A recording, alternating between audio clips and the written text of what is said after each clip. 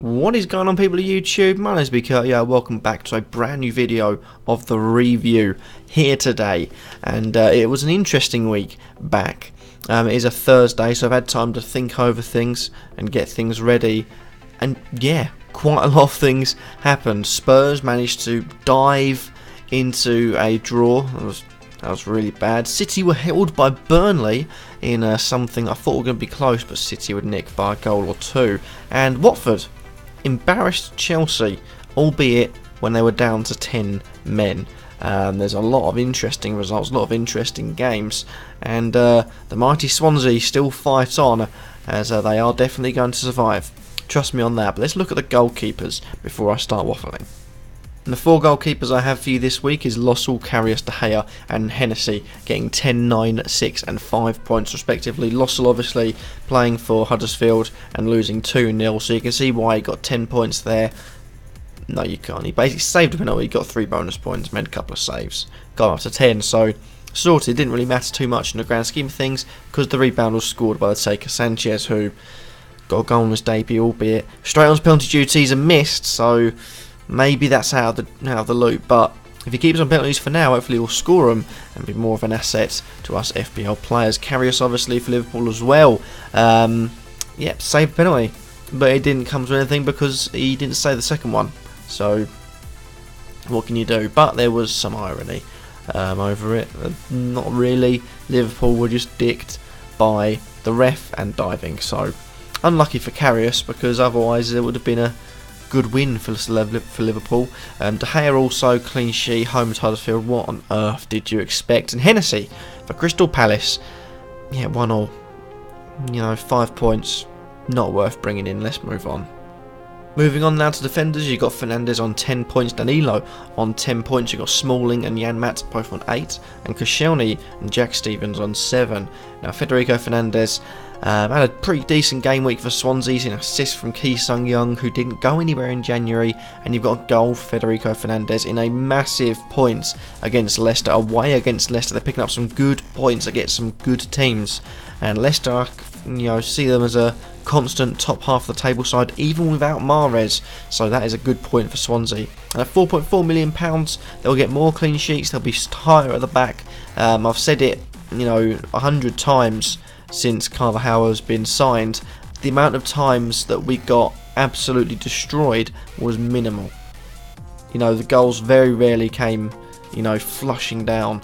Um, in comparison to how many other teams it might have happened to. So, worth keeping an eye on those Swansea defenders. Man City obviously had a player in there, Danilo, scored a goal and get a clean sheet. He's not a long term option, so I'll ignore the £5 million man. You've also got Smalling, Man United defenders, I'm not really sure what to make of. I brought Jones in, he didn't play, so yeah, uh, I'm not really sure about Man United defenders. Valencia's a constant, sure looks like he signed a new contract, but you never know with Jose Mourinho. You got Janmaat as well, nonsense. Don't listen to any Watford players that are in there. You're talking about Janmaat.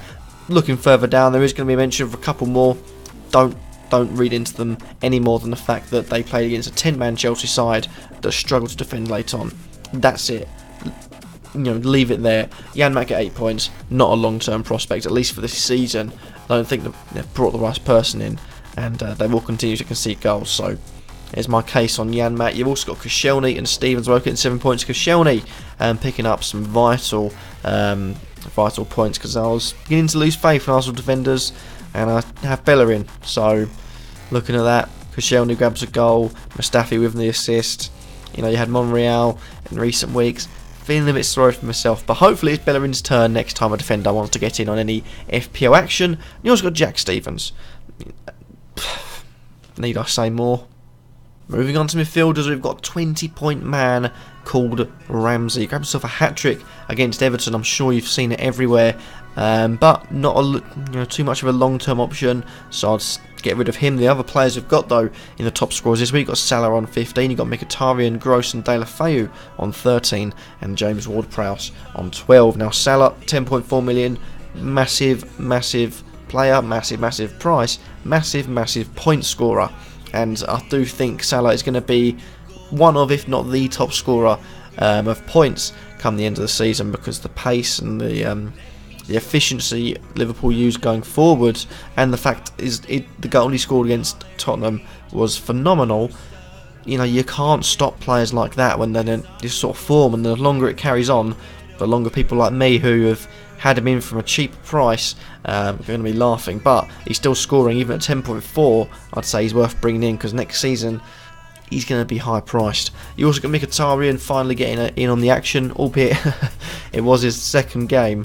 But I did expect it um, in the last Arsenal game, but it just wasn't meant to be.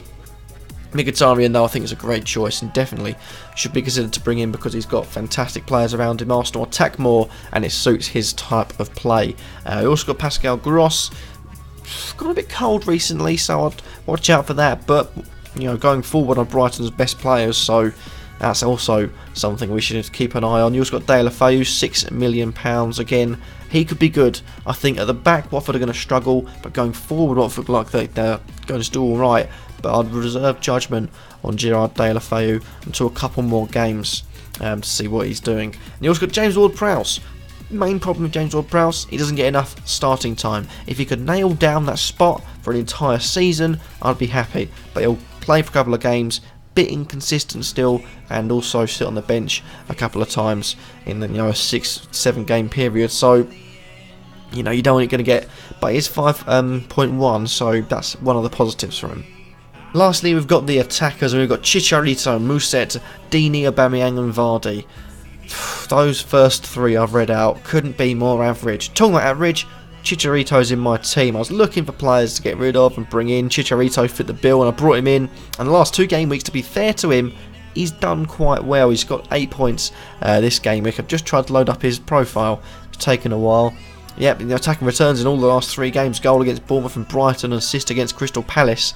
And albeit they're having a bit of problems, he seems to be doing alright. Home against Watford, who I've just said will have problems at the back. I think Chicharito could be getting four attacking returns in four weeks.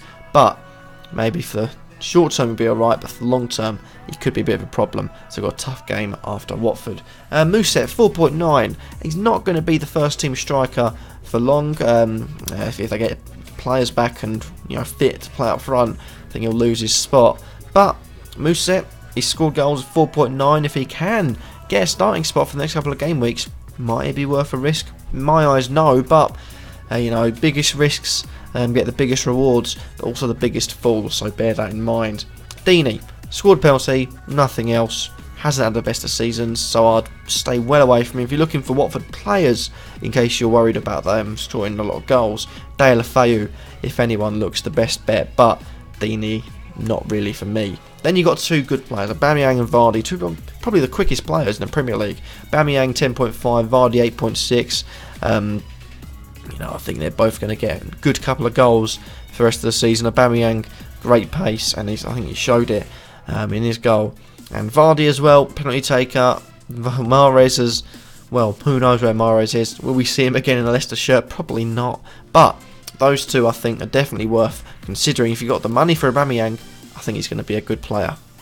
And that happens to be that for this video. Hopefully I've enjoyed. If you like, comment, subscribe, and let me know in the comments down below. What do you think of all the biggest point scorers? Have you got any of them in your team?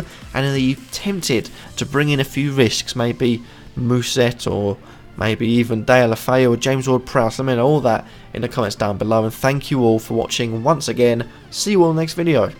Peace.